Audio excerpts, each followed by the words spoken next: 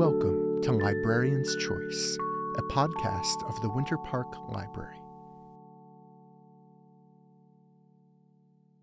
Hey y'all, I'm Rachel Simmons, your friendly neighborhood archivist here at the Winter Park Library, and I am your host for this episode of Librarian's Choice. This time we'll be talking about The Revolutionary Samuel Adams by Stacy Schiff, and with me today are three of my colleagues. So, you guys, you introduce yourself? Hey, I'm Jeremy Zorn, one of the public services librarians here at the Winter Park Library. I'm Ann Simpson, the other public services librarian.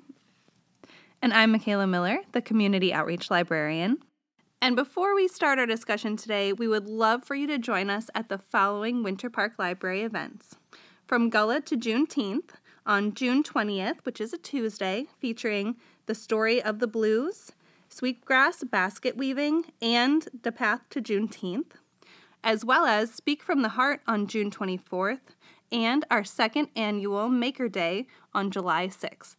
Be sure to join us for those wonderful and fun events. So, The Revolutionary Samuel Adams is one of six books written by Stacy Schiff. Now, she won a Pulitzer Prize back in 1995, along with, she's actually gotten quite a few literary awards, ranging from uh, 1996 all the way to 2019. And um, interesting for our application, considering that we are talking about Samuel Adams, one of those literary awards, aside from the vaunted Pulitzer Prize, obviously, is the New England Historic Genealogical Society Lifetime Achievement Award in History and Biography. Good Lord, that is a mouthful. Um, but that to me is kind of interesting, and I think she won that for uh, The Witches, which was about uh, the Salem witch trials. I want to read that one next because I. Uh, I, I do have some critiques for this book, but I, I did enjoy reading it. Um, but to just quickly summarize what the book is about, it pretty much is exactly what it says on the tin. It is the revolutionary Samuel Adams. It is a biography of Samuel Adams. Um, so my first question to you guys is, what did you guys think of the book? And the the way we're going to structure this, just for folks at home, we're going to structure this kind of as a discussion of things we really, really liked about the book and the things we didn't like a book. So basically, pros and critiques, essentially. So, Jeremy, you want to start? Uh, sure, yeah. So, um, looking at this as a popular book, a book that was, you know, a New York Times bestseller, even, um, I was kind of approaching it as very much well this seems like it'll be a book for a lay person audience you know? And it is yeah. Yeah so in, in that uh, you know sense i was kind of reading it um, as this is something maybe that should be a primer about samuel adams you know the person and the time period and the revolutionary events so um, yeah as a primer it definitely had its merits and took you through you know a time period and a lot of things that might be familiar to you from you know your us history class from eighth grade or whenever you took that um, with a little bit more behind the scenes detail and such. But at the same time, I was reading it, I was kind of thinking, like, why Samuel Adams? Like, is she really that committed? To him, it seems like, as with a lot of historical figures, it can be a bit difficult to, um, you know, have a lot of blanks filled in the life of that person. Mm-hmm. Um, so, like, reading about, you know, his biography, well, you have like his marriage and family life, and you get really, I don't know, maybe a paragraph or two throughout the whole book of that stuff, you know? Um, and there's a lot of kind of self consciousness from the author about not having a lot of details about Samuel Adams, yeah. you know, the person's life. Um, so I don't know, I just kept kind of thinking that in the back of my head. Why Samuel Adams? Um, I don't really feel that much more engaged reading about the revolution and the events through his life than maybe I would through a history textbook. Right, right. I'd say really this was about as dry if that times not drier than some textbooks that I've read. Ooh, ooh that's a spicy take. So, yeah, I mean, um, I was easily distracted while I was reading it, which I think is not a great compliment, you mm-hmm. know, to mm-hmm. my experience of the book. Okay. Um, but probably could draw some more thoughts from there. But, okay. Uh, we'll come back around. What about you, Anne? I didn't finish it. That's fair. um, I tried like four or five different times to start this book. I re- did it as an ebook. I did it as an audiobook. I tried so hard and I couldn't do it. Um, uh, like Jeremy, I my attention wandered a lot while trying to read it, and uh, I would be like, "I had, come on, you can do it. Just listen to it's like a podcast. Just do it while you do your chores." And then the Vanderpump Rules thing happened, and I couldn't get a like that consumed everything, and there was no space for Samuel Adams. And then um, the new Breath of the Wild game came out, and there's been no space for anything. of course, of course. So maybe I'm not a good book club member, but I did try. Um, I thought it was well written, and I liked the narrator for the audiobook's voice a lot. Like, Oh, I, yeah. I would listen to more things that he's done. I could for listen to that man read the phone book, and Were I did. All, Um, were, were you all um audiobook on this one? So, I was. so oh, oh, that actually, that's a really interesting question. So all. And you listen to him read the phone book? You have I would listen to him read the phone book. Yeah, um, there oh, are I a lot of people. you did listen to him read the this phone this book. could be like reading the phone book at times. Um, but so you guys, Anne and Michaela, you both did the audiobook. Yeah. Jeremy, you read the physical copy. Yeah. I actually did both the audiobook and the physical book. So here is how I actually structured how I read this because a long time ago I learned that I actually liked books on tape as a child. And instead of fighting that and just growing out of it, I decided to lean into it for this book because I realized that I might get distracted. But if I had sound coming in, I wouldn't get it distracted. I could concentrate. And so I actually leaned into those books on tape that I used as a kid and actually both physically read the physical book and used the audiobook to supplement and to keep my my attention span going. And that I think was both a detriment uh, and a boon at the same time because I figured out that I read way faster than the actual than the actual narrator, so I would start getting confused and have still have to go back. But um, for folks that at home that really are having a hard time getting into reading, I do actually recommend using the audiobook with the physical copy or a text copy even if it's digital. That might actually help you.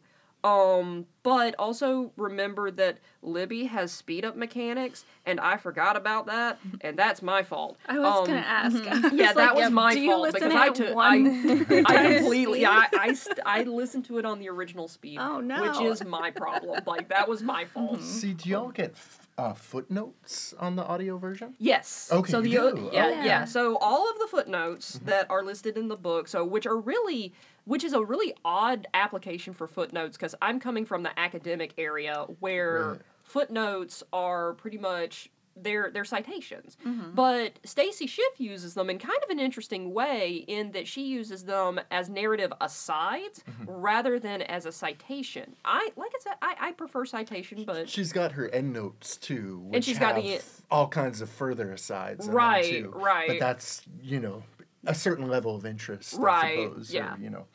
and I did not. I actually did not read those.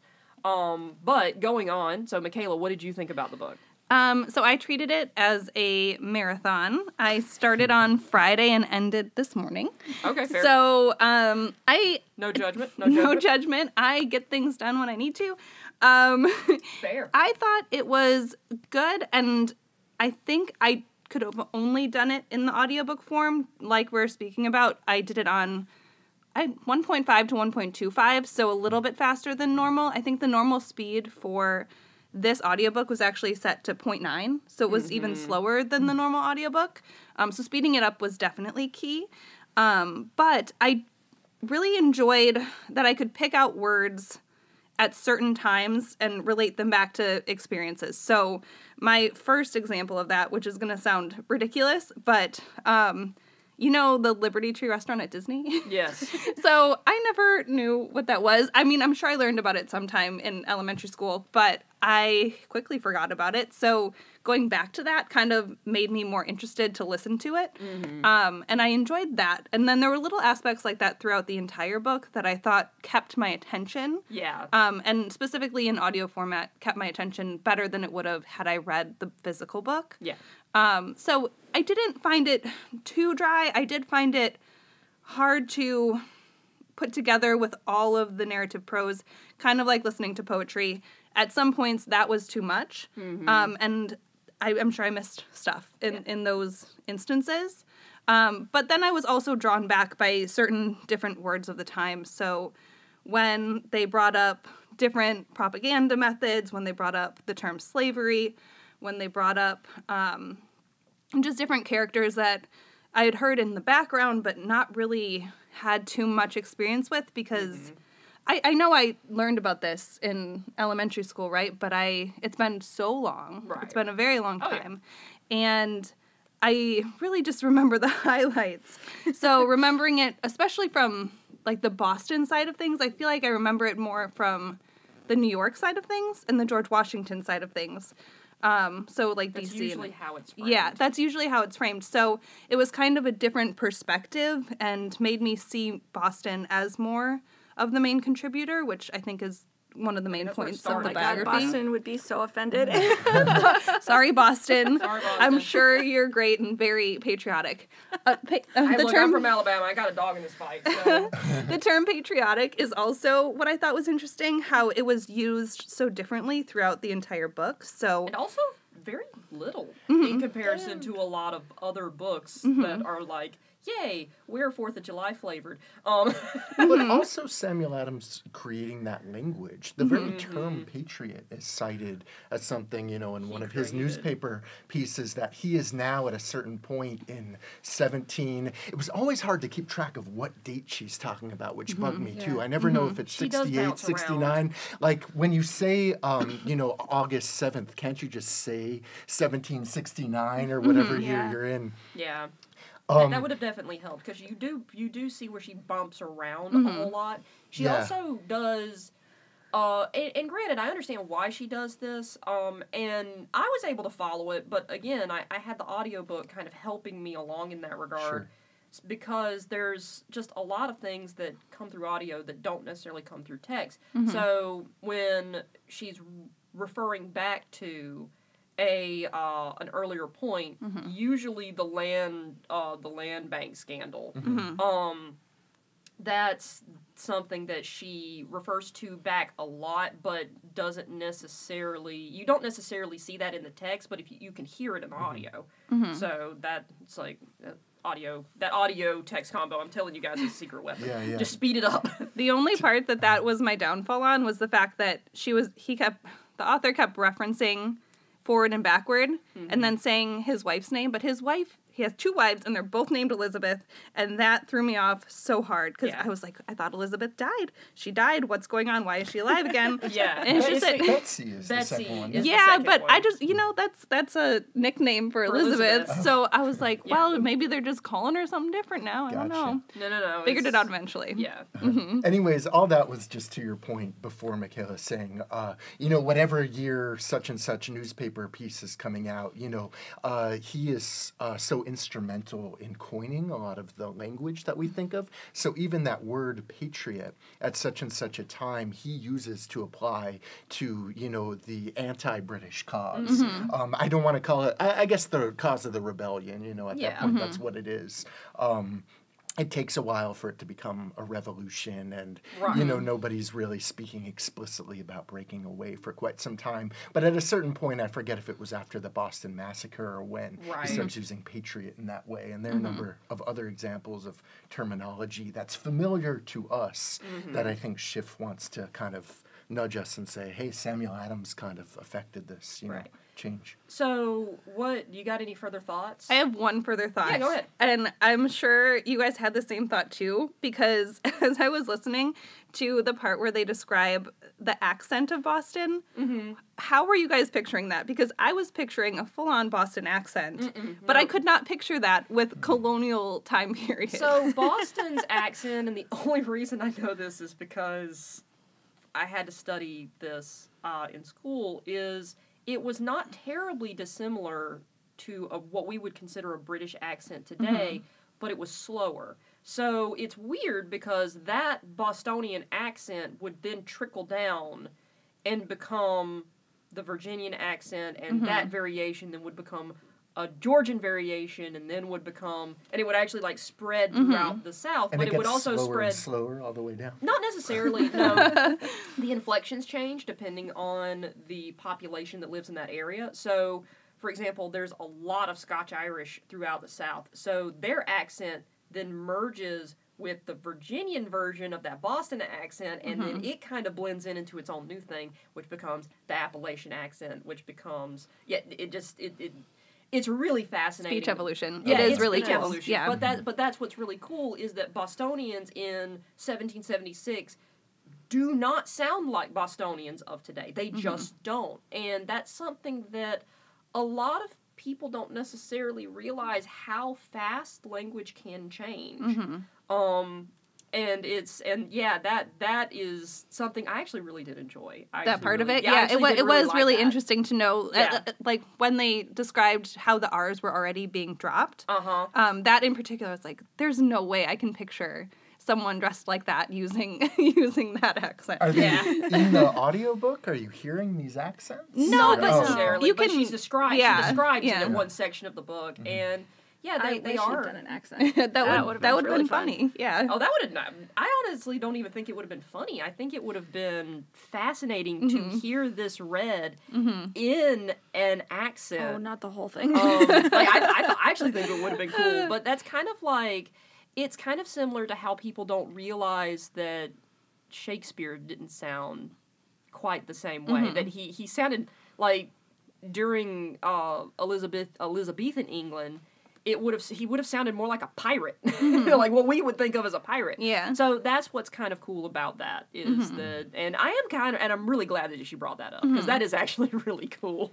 Well, it's one of those things that kind of got me more seated in the book. You Right. know, able to listen to it because I was able to picture. It's mm. obviously it's hard to pic- picture Mm. Yeah. colonial times, Yeah. especially when you're living in Florida. It's history is here, but it, you have to look for Right. it. And the So yeah, and one thing I don't also want to bring up your your mentioning of the Liberty Tree and Mm-hmm. the Liberty Tree restaurant in uh, or Liberty Tree Tavern in Disney World. uh-huh. Um, most people do not actually know that the Liberty Tree was a, in fact, a Mm-hmm. real tree because it's like, oh, the tree of liberty is watered with the blood of tyrants. Most people only think of it as a metaphor because we really don't want to talk about the effigies that were Yeah, hung up pretty there serious in a. Mm-hmm. pretty violent manner, um, which is what bothered Thomas Hutchinson. And to be fair, I'd be probably pretty bothered too if I was hung they in of effigy. Yeah. Thomas Like, Hutchinson. yeah, they were of Thomas Hutchinson. That was pretty scary because they're the the further threat is make it like like keep on going. We'll make it worse, and mm-hmm.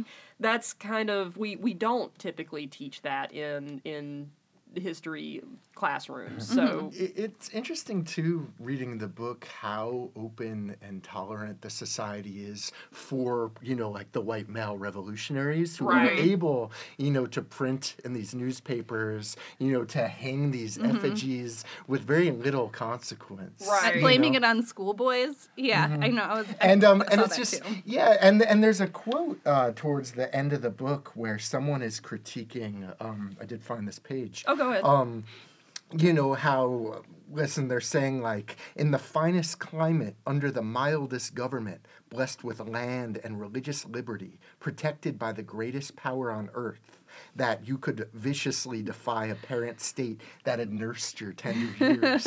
you know, someone is almost making fun of the revolutionary or just speaking kind of from a place of bewilderment that you all would be the one to, you know, uh, lead this revolution and overthrow uh, the British like the spoiled children, you know? And Adams, it says Samuel Adams. Uh, uh, had one word at his disposal to defend himself against this charge liberty. and, and and and Sam Adams would definitely be leaning into the microphone and blaring out the speaker when when doing that. Uh, and and again, so much of the construction of our language and these kind of American, you know, ideas, yeah, um, uh, liberty, patriot, you know, these Mm-hmm. words, um, uh, their connotation and meaning isn't taken for Yeah. granted back then quite the same way as now. They're being coined almost those terms, you know. And I actually, uh, when going back to your point about you know the not entirely sure why Samuel Adams. I, I, I think I, I think I do. It's because the challenge. Um, Yeah. because he is one of the founding fathers that is the hardest to track down because he he was the secret agent. He was the mm-hmm. guy that no like everybody knew about him, but nobody knew exactly what he was doing. But they knew he was stirring the pot, but he was stirring the pot behind a screen. Mm-hmm. Mm-hmm. And so that and and he intentionally destroyed most of his communications Yeah. not not only to keep him and his family safe, but also to keep the British from going being able to have evidence to go after his friends. Not great for a biographer. which is horrible. when, when actually Stacy Schiff points that out. That's that's one of the reasons why I I would I don't blame her for feeling preoccupied with saying now we don't know mm-hmm. because we don't. I mean that's that's a statement of fact is Yeah. we just simply don't know. And you know, cuz one of the there there's a few framing devices in this book. And one of them is trying to fill in the gaps, like trying to figure out Samuel Adams's brain. And the thing about it is is that was he always a revolutionary? Mm-hmm. Did he did he as he said later come around to the revolution a little bit later? Mm-hmm. Whereas everybody else is like, "Oh no, he had revolution in his brain the entire time." And Sam mm-hmm. Adams is going, "No, I didn't." No, I think Schiff makes the claim that, like psychologically at least, he was always kind of predisposed to be a revolutionary. That's that She- that she does make that point, but Yeah. Sam Adams himself, like the what we what we do know is Yeah. that he's like I I came around to this. I think it was like 1768 yeah, or he's something in his like forties, and Yeah. she says that. But she goes back to his uh, college years at Harvard, and Mm-hmm. that's one of my favorite parts of the book. I think early on because it's actual feels like biography, and then the end once the war is going in motion. Again, finally, it feels like biography. So as an aside, I did like those parts. But she talks about him as a student, um, and you know his interests in like political philosophy, and you know kind of the Greco-Roman lineage, and then more modern types like John Locke. And it has someone says that quote. Um, I, I can't remember who, but the revolutionary was formed really in the library of Harvard University. Yeah. Right. You know, and you have uh, you know bits where like she's talking about what were exemplary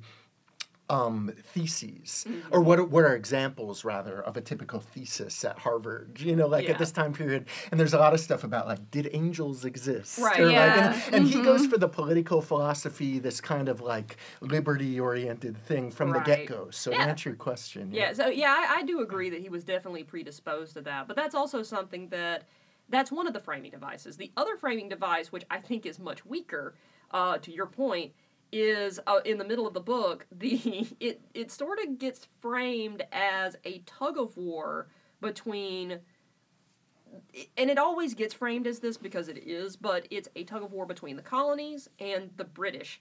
And the way Stacy Schiff specifically frames this is Tom, uh, Sam Sam Adams versus Thomas Hutchinson. Specifically, Thomas Hutchinson. Yeah, Bernard is hanging around, knocking around in the background on occasion, but he mostly gets shoved to the side. And it's basically the revolution is framed as a battle between these two dudes. Yeah. And I find that to be a little weaker um just because there is so much going on that contributes to the revolutionary fervor in Boston and throughout the colonies that it, it is not just these two dudes even though Sam Adams is definitely a major player um, and obviously Thomas Hutchinson would have also been a major player, but I still feel like that weakens the book to a certain extent. I did think she acknowledged that other people within Boston, and especially at first in the outskirts, like surrounding, Right. were not on his because Um, and I appreciated that because that's something that I feel like history kind of glosses over that people are probably really afraid, right, to, to Well, stand up for one thing or the other. They were afraid, and a lot of folks, especially like when you go back and actually read through, uh, specifically, you know, Tory thought, which Tory, just for my audience out there, that means they sided with the British. Um, and yes, there were col- colonists that sided with the British. It's not, it's not all Johnny Tremain now. um, the, the redcoats didn't just show up and we were surprised, you know. but no, it, it's more like people were baffled, just like uh, the the quote that Jeremy had earlier. People were utterly baffled. Like, where did this come from? Like, It happens quickly. It happens you know, really the book fast. Really, the events Yeah. take place in the mid '60s. You Yeah. know, of the 18th century. and honestly, I think that the reli- like not religious, sorry, revolutionary fervor gets really kicked up when Gage and his guys, the the regulars, land. Mm-hmm. And these are not well trained soldiers. We we tend to like to mm-hmm. think of them as uh like and and and to a certain extent it is, but we think of Big Britain versus tiny America mm-hmm. at this point, and that's always how it's framed. But the Brit the average British soldier is Young. it, not not only are they young, they're usually dumb, but they're rowdy. they're they're they're young, dumb, and rowdy, mm-hmm. and then you bring them to a foreign place that they do not know the societal rules for, and they've been given power. What do you think they're going to do with it? They're going to start breaking stuff, and that's exactly and what they've they been do. on this terrifying journey to get Yeah. there. I mean, thinking Yeah. about you know travel over the ocean in Yeah. that time period. We're that's the thing- sympathizers, you guys. Well, and, and that's Are the we thing is Tories? Maybe that- so. Yeah, but that's the thing you have to take into account is that these are are people that they have been, and sometimes they're conscripted too. So Mm-hmm. sometimes we're not working with like like the greatest that the mm-hmm. British military. We're not. They're not all officers. They're not all regimented. Some of these guys are conscripts. Some of these guys are just dumb kids down on their luck. You know that and. I think they said the 29th regiment, like the one that was involved, Right. was people that were in prison, right? Yeah, like yeah, that, that, that is what they had mentioned. Yeah, they're Yeah. conscripts. Yeah. and and we're not we're, in other words we're, we're working with people that are likely going to get rowdy anyways and the thing is is that and i do like the fact that stacy schiff this is one of my uh like pros of the book is the fact that stacy schiff acknowledges that samuel adams blows out of proportion a lot of the stuff these mm-hmm. guys do mm-hmm. Yeah. but that they still were doing really awful things to the colonists and this is what that's the actual powder keg mm-hmm. is is these guys do not know how to behave themselves. They do not know how to comport themselves. And that is in fact the actual problem that samuel adams then uses his new propaganda machine mm-hmm. to take advantage of.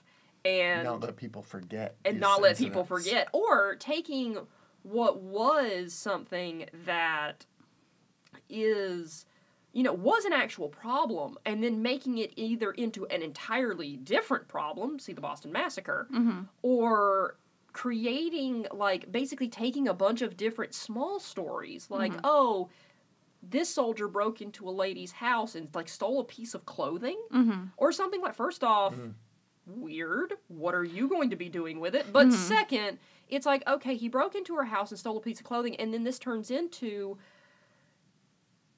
he he raped the wife shot the children and burned down the house Yeah. you know? Yeah. and it it it then it just twists into this something that that like is related tangentially to the thing that actually happened but it becomes this completely other more extreme thing. And that I think is the thing that Stacy the actual question I think that Stacy Schiff is asking throughout the book is why did he do that? Like what where did that come from? And that is uh that is the question that I think she fails to answer, but she tells us she's going to fail in answering that hmm. because there is just not enough documentation. That's in, in other words, that's not a knock against her. There's just simply not enough mm-hmm. documentation to mm-hmm. figure out what his deal was. Um, Well, it left from- me wondering if all of the stories were necessarily true, to be honest, right? Because and that's that's entirely possible that they're yeah, not. Uh, it just seemed like they came up very at very convenient times, and they could have been true. I'm sure they were true in some instances, but Can you give us an example? let me Can you can you think? let me think really quick. Um, I think about. and that'll take me a second. Okay. I had it this like this morning when I was listening to it. Um, I think that the things like always having the fife and drum playing on Sundays, right? I'm sure Right. that that stuff, just because that's stuff people do to annoy each other, right? Well, yeah. They're trying to be annoying neighbors. Like I don't know if Um, you guys have ever heard a fife, but it is one of the most ear screeching noises you will ever hear. Mm-hmm. Like it's basically a piccolo, and my old band director would say, "How do you get two piccolos to be in tune with each other? You shoot one of them." Um, Oh. Mm-hmm. and that's exactly what a fife sounds like. It is ear piercing. Go ahead. It's just No, it's okay. um, I just thought that it, with the fact that they had these five newspapers at their disposal and that they were spreading these messages so far and wide to people who can't even picture the city of Boston, right? Um, so it it seems to me that it had to be a pretty wide narrative that they were that they were telling. Um, at least from my perspective, that that's how I saw it. Oh, I felt very bad for the people who like were getting blamed for everything and everything and everything, mm-hmm. even if they they may have. I don't know. I don't know enough about that, but And I think like that was the one thing that kind of struck me is that Thomas Hutchinson's worst sin was being bad at his job. Hmm. yeah, That was his worst sin is he was bad at his job. And that is actually to kind of Samuel Adams's credit is he's like, yeah, uh this whole like landed gentry thing and people just getting like all these as we would call it today nepo babies getting basically just getting a round robin of you know perks and job opportunities. That doesn't make them good at their job and thomas hutchinson got banished because he was so bad at his and then one of the revolutionaries I think it was uh, Warren i think uh, bought his house yeah. That was- adding that was- insult to injury. that was a glorious cherry on top of that i'm just like But I me- also noted that I feel like Samuel Adams just always quit while he was slightly ahead at being bad Mm-hmm. at his jobs. Like he was good at politics, but I, it was very hard for me to picture a man being influential Yes. who wasn't actually good at business or in any sort of like monetary standing, right? right Yeah, That- that's a, a big part of you know her story. There is that our hero is bad at his job, Yeah. and that his passion, you know, is not for business. You know, I guess the brewing business, which Right. now has come back in his name. Okay. But- yeah, this is actually something I wanted to Uh-huh. talk about too because um th- and this is something that Stacy Schiff and this is my biggest critique of her book Hmm. is absolutely guilty of. And the thing is is that not only is she guilty of it, but every single person who writes about the Revolutionary War is guilty of this bar none is the fact that we always because of the framing that big big aristocratic Britain versus plain, tiny little colonial America, because of that conflict, because of the way that is usually framed, that means that our founding fathers also have to be framed as normal people when they're not. right. Yeah. And and I don't and I don't mean that as an insult. I mean that as Samuel Adams went to Harvard. His when he was dad 14, went to Harvard. right? His son went yeah, to Harvard. what is up with that? And they were they were high in the hierarchy of, Different Har- of standards. Harvard, and she talks about the way in which They're judges. Mm-hmm. Like his Samuel Samuel Adams uh, senior. So by the way, that our Samuel Adams, the one that we're talking about, is actually Samuel Adams junior. Mm-hmm. Uh, but the previous Sam Adams was a judge. And so that's the thing is that, um, or he was a high lawyer. I can't Mm-hmm. remember like which one, but that's the thing is that these people are people of power and influence and wealth.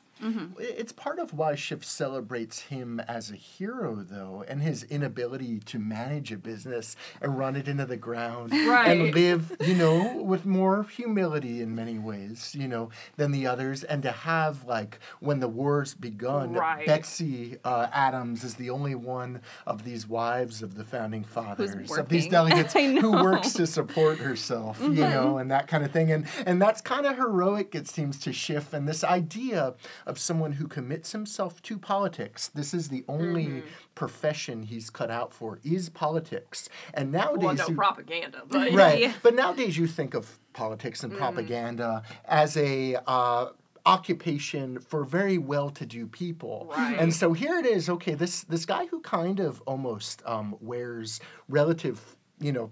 Poverty, or at least his, at least his riches to Yeah. relative rag status. But see, you know, as a sign that's of what I'm talking about. Is he doesn't that that's not the trajectory that actually is going on. So Mm-hmm. Stacy Schiff in the early parts of the book, and this was something that I noted because it bugged the crap out of me.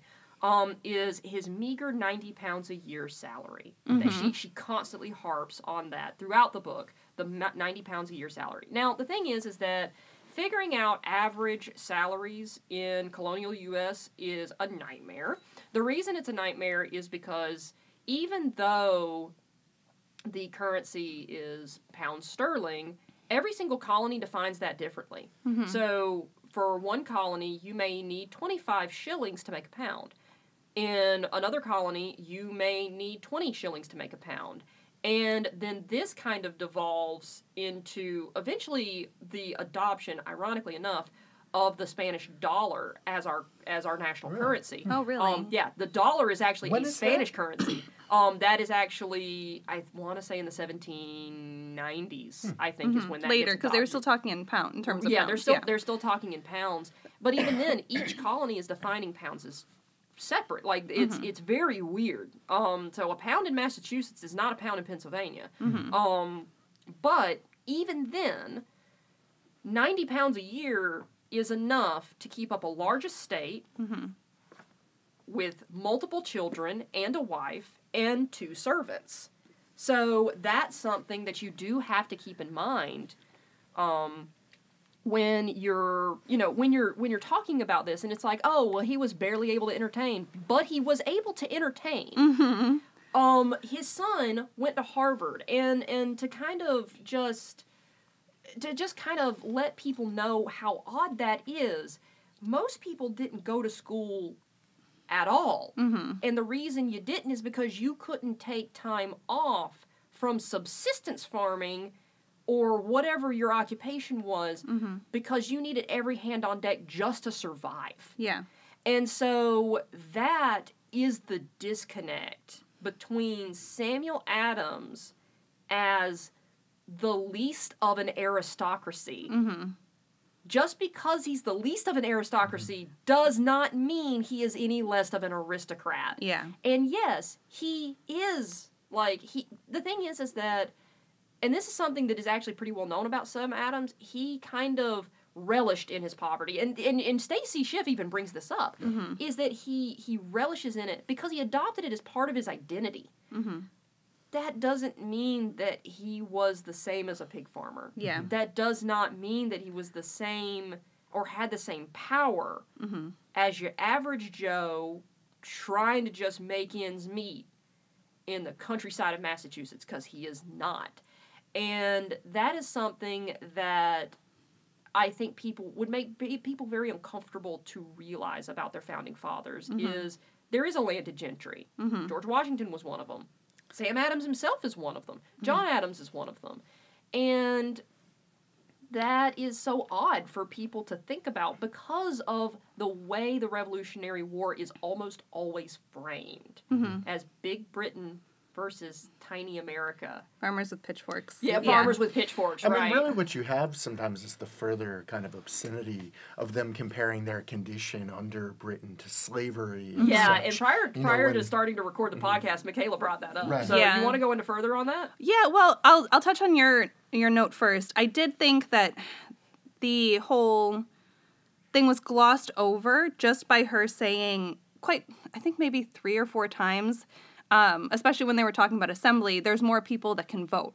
So they're talking about inviting the masses in, right? But these masses are not landowning and that they cannot vote. So I feel like that's the only area that I really saw that alluded to that aristocracy being in place. Um, but other than that, it was relatively glossed over, and you would really have to listen for, or listen or like read intently to know that that's what they're talking about. Because obviously, more than just the people who historically couldn't vote, like women, children, um, you know, were weren't able to, Right. um, weren't able to really have a say, and that would really be the only way for them to convey any sort of opinion would be in public, Right. in like a public forum. Yeah. Or, Um, or hanging an effigy in the Liberty Tree, as it yeah were. exactly exactly um and those things were even kind of attributed to the aristocracy right like they say oh these are the people that did it but behind the scenes it was sam adams who was kind of calling the shots Yeah. um, but as far as the term slave, the term slavery was used quite often um, to describe the condition under the different acts, right? Like the Stamp Act, Hold on. Let, let me let me just clarify something. Stacy Schiff is not the one using this No, language. yes. It is actually the people of the time period using this language because I, I definitely wanted to make sure. Yes. Yeah, it's It- not her. yeah. She's quoting others. Okay, go ahead. Um, it was more the use of the word at the time when slavery, like they were actually buying, selling. There, there were slaves. Um, I think Sam Adams. They talked for a time about him No. selling one. he actually, uh, I think he inherited some slaves. Okay. But he actually found the practice to be repugnant, and that is Okay. actually something I do like about the guy. Okay. Uh, he found the practice to be repugnant, and like the second he inherited them, he immediately freed them. That's like Okay. a single sentence. In Yeah. book. Really? she says Yes. it, Oh, I thought it mentioned that he he, he inherited, sold but he did not keep them. Okay. Um, he he did free them. He Okay. found slavery to be utterly repugnant. Mm-hmm. Um, which I think is maybe to your point might be the reason he brings it up so often Uh-huh. because he he is also one of the people that wanted to and and this. I gotta give. I got it. Like I, I'm gonna. I've spent a lot of time bashing good old Sam Adams, uh, this this this trip. But I am gonna give him this. I'm gonna give him this prop. He tried to get slavery abolished in seven in, in the 1770s. He Okay. tried. He tried to actually enumerate that in the Bill of Rights. And uh, people are like, and and of course. Mostly folks from the South, um, unfortunately, um, in the in the big slaveholding states, basically said that's never going to get ratified if you if you keep harping on that and and that's why it was actually removed from the bill of rights but sam adams was one of the people that was trying to get that enumerated because he found it so disgusting. Mm-hmm. And i'm like I, i'm going to have to give him props where props are due. And yeah it's it's i yeah that's he tried to do that. Like he found slavery utterly repugnant. Mm-hmm. And yeah, he, he that that's something I think that's one of the reasons mm-hmm. why he's bringing it up is because I think he also wants people to. He's like, this is bad, and I want you to associate it with the British who are also bad. You know, this, See that that's what seemed like a stretch to me. But I guess I from you explaining that, I guess I can understand that a little bit more because I saw one, you know, use of the word as such a huge atrocity, and then the other as just him being kind of right? yeah melodramatic with his language. Um, I no, mean, no, no. He, he was using his language in a very pointed way. Yeah. Uh, but it's because he himself found slavery so disgusting. Yeah. Like that, but, and, and he was trying to convince. It's kind of like fighting an uphill battle. He's trying to convince the wider colonial world that it's also bad when even many of his colleagues, like uh, John Hancock, mm-hmm. owned a lot of slaves and did mm-hmm. not disagree with it and you know did not and of course you you saw how badly they disagreed with one another mm-hmm. so that's the thing is sam adams is trying to use that influence that that propaganda to propagandize slavery being bad and it to his credit it does become an undercurrent through the rest of us history yeah, that's true. so good job sam you, you you did that you did good you tried um, it seems to be one of the reasons she, cho- uh, you know, Schiff chose him as a subject and Oh, yeah. him without overstating the point in the. Right.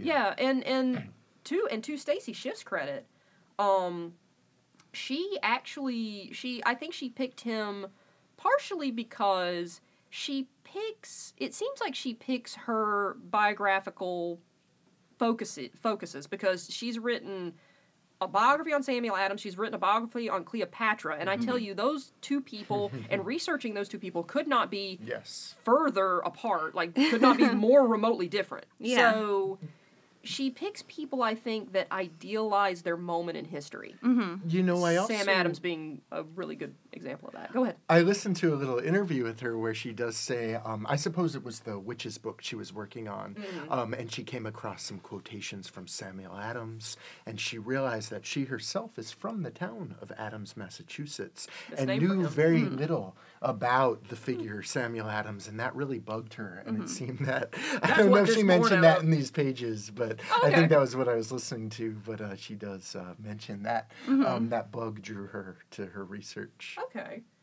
All right. So we But- have been going on for a while. So you guys, uh, any final thoughts? Yeah. Final thoughts to wrap up. Yeah, by way of a final thought, um, I was thinking about what you were saying a while back Rachel, about maybe a weakness being an emphasis on Samuel Adams and Thomas Hutchinson, and it mm-hmm. seeming like mm-hmm. the Revolutionary is just about their conflict.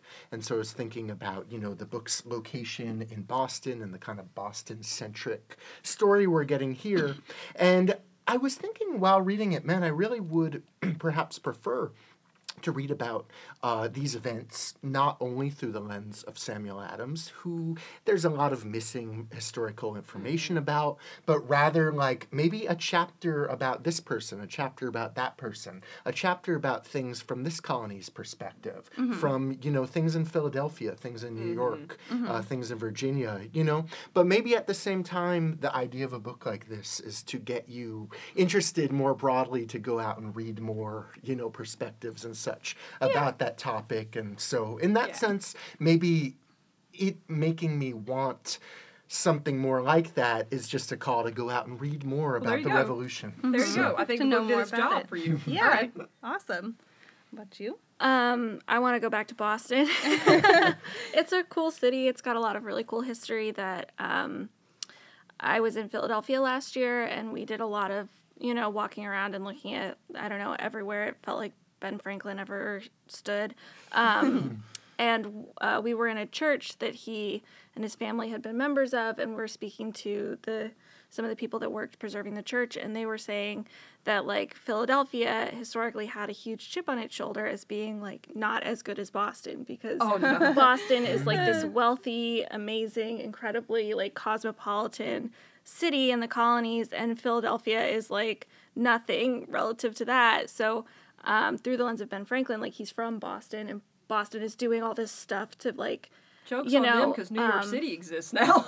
yeah, but like the point was essentially that like Boston is celebrating like Boston's son Benjamin Franklin, and like what did Philadelphia do? Nothing, and then that's when Philadelphia starts to do more to celebrate him. So like the to Jeremy's point, the the not interpersonal but inter like colonial uh, conflicts and things. It is interesting, and I anyway, it was a really interesting whole thing. And then um, to your point about the founding fathers being incredibly wealthy, if you ever get the chance to go to Monticello, they they give you a tour, like standing outside of his house, and they point to this hill way off in the distance, okay, and hold they on. say. hold on, guys. Uh, Monticello is the home place of Thomas Jefferson. Okay, go Right. ahead. They say Thomas Jefferson lived here, obviously, but he was born over there, way off. And he, when he was born, he owned this. Like what you see is what he owned, and it really Everything the light touches, It- literally. it's a oh. really effective way of saying like these are not normal people these are mm-hmm. incredibly wealthy incredibly well-to-do people he's born and he has like x many slaves and he, he just anyway it's it's mm-hmm. really effective so if you do get the chance in like american history there's a lot if you go a little further north than florida that's worth seeing oh um, yeah. so, uh, all that to say, this book was not for me. Maybe there will be a different book that's a little bit later. I felt like this book was just really dense, um, which Yeah, made it- it hard for it me. is. But other than that, um, I don't know. It was fine, you know, Yeah. for a book I didn't finish. What do you think, Michaela? my final thoughts i think on it were i enjoyed that it allowed me to have a different perspective on politics of today right like i feel like she brought up a lot of Very- topics very relevant topics that we look at today and we might even see as embarrassing topics today right His- like history doesn't repeat; it rhymes. yeah, it, it does exactly. It does rhyme. So I feel like there's a lot of a lot of things that can be synonymous with the things that we're dealing with today, and that is interesting to see that repeating because it's not something. I guess you get the idea that because these people are in black and white in your head, they act a different way, but people kind of always acted the same way. So it's nice to see that at least, right? Like it's nice to see that comparison that these people that we've put up on such high pedestals, right, as the Right. writers of our Constitution, um, we're dealing with the things that we do deal with today, and it's not as trivial as maybe we would think. Um, so yeah, I I did enjoy it. It was a little bit difficult to get get through. It like I said, it was a marathon, um, but it I, I'm not I'm not mad that I read it. Yeah. Yeah. So, uh, my final thoughts I actually really enjoyed this book, but then again, I also read the Silmarillion cover to cover uh, in one day. Don't don't do that. Um, but I like dense books. So the fact that the fact of the density of this book actually did not deter me. I actually really enjoyed that. I also liked all of the little footnote asides. I like the end notes. I like the density of information in the book. Um, I also like how she frames everyone in the book as human. Um, like I said, I have my critiques, uh, but the but the thing is, is that the things that I critique about this book are not sins commit are not unusual sins. They are sins committed by everybody that writes about the Revolutionary War. Period. Um, unless they are actively trying to frame the founding fathers as being bad, which actually uh, Stacy Schiff actually does bring up very very briefly. Um, because there was a stint in around like the 1870s ish where American authors uh, tried to frame the founding fathers as being maybe a, a little bit psycho. And it was because we were getting back into good graces with Britain at that time. And so it was basically like it, it had been gung ho, patriot, flag waving, and then it went completely in the opposite direction in the pendulum as you know World War One started happening and World War Two started happening. The pendulum started swinging back the other direction to that rah rah, you know Fourth of July shooting off fireworks kind of thing. Nothing unites like an enemy. Yeah, oh yeah, nothing Yeah. unites like an enemy. But that's the thing is that it's um I I I do not recommend this book as someone who, who has studied history for a very long time. I don't recommend this book as a source. Not not do not use this book as a source. But if you're wanting to if you if you like dense books and you you think you would enjoy learning more about Sam Adams, I do recommend this as a fun read. If it, but it, it's it's it's not like a croissant. It's dense like a pound cake. So if you like pound cake, then there you go. Um, I mean, dense books on a topic someone's really interested Right. in tend to be great. but the other thing The too Hermione is that, Granger, a bit of light reading quote comes Right. to mind. But the other thing too is that the selected bibliography is actually a really handy starting yeah, I was point. gonna say. Uh, a mm-hmm. really handy starting point. So, kind of like the way you would never use Wikipedia as a source, don't use this as a source, but definitely use it as a jumping off point. Mm-hmm. Mm-hmm. I think it is very good for that purpose. And definitely listen to the audiobook, guys. It is a treat. So, hmm. yeah, those are my final thoughts. So, now we get to the review section All right, of the so program. we took some wonderful one star reviews just to get a good round opinion of the book that we have going on today. Um, so I I don't know, should I say their names? We have a, a Miss Joan who says, Terrible book. I actually didn't finish it, but I did get to page 163 and decided I had had enough. Um, so Joan, unfortunately, was not for her. Um, but the funniest one was the I'm Also pretty sure review. also one star review was the Gen Z review that I captured off of Goodreads is this was low key the worst book I've ever read, which I think is a little bit unfair. That is pretty unfair, yeah. That that is pretty unfair. And then the last one, which is also extremely funny, I got off of Amazon, which is Googled synonyms to describe boring. The author loves obscure synonyms. This book gave me flashbacks of 12th grade history and why I hated studying history in school. I really, really, all capitals, tried. I took notes, I looked up words, and I gave up. Um, so those are those are some of the poorer reviews. Of course, there's ones that go much more in depth. A lot of them just say that the language is a little bit too flouncy. Is that yeah, the right I, word? I would uh, I would agree with that. It's very uh, flowery. yeah, flowery is the right word. How often she uses the word Rubicon, or the cross, Mm-hmm. the Rubicon had been crossed. You know. I think it's because I think it's because there there is so much reference to that in the the manuscripts In that the she's literature, actually yeah. studying. So yeah, that probably that's probably why. Um, One of my Okay. neighbors has a dog named Rubicon, so it's ceased Really? to be like a normal word and is simply a dog. Well, it's also a type of car. Like yeah, it's yeah. it just makes it when Um, you come across it in a book. I, I'm always like, oh wait, no, that's an actual. That has a different meaning. It's Yeah. not just this pipple mix. very very funny. But the re- the reviews, there are some very funny reviews. If you guys want to look up more, I think that's about all we have time for today.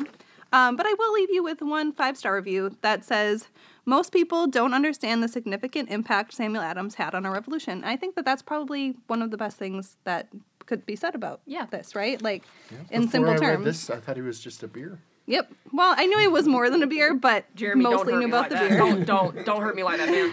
Um, I actually don't know how much I knew he was more than a beer. I mean, I'm not gonna lie, I could the, talk for the two beer hours kept his name alive. Yeah. So there's that. Mm-hmm. Sorry, All I'm And. I bet you. John and I bet you John, his cousin, would be real salty about that. Sarah was waiting that whole hour just to say that. yeah. And that has been our Librarian's Choice Book Club review of The Revolutionary Samuel Adams. Be sure to join us in September for our next Librarian's Choice episode, which will feature The 90s by Chuck Klosterman, hosted by our very own Jeremy Zorn.